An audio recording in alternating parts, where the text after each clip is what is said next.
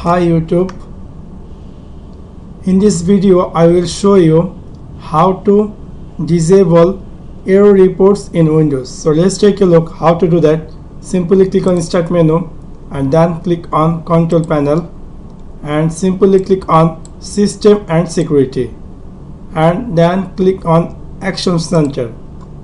In left side corner you will see change action center setting. Simply click over there a screen will appear like this. Simply click on problems reporting setting. And then a screen will appear like this. Simply click on change report setting for all user. And here there is a different option whatever you want.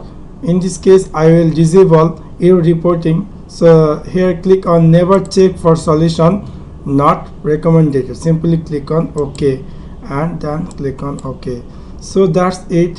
Thanks for watching my video. Like and subscribe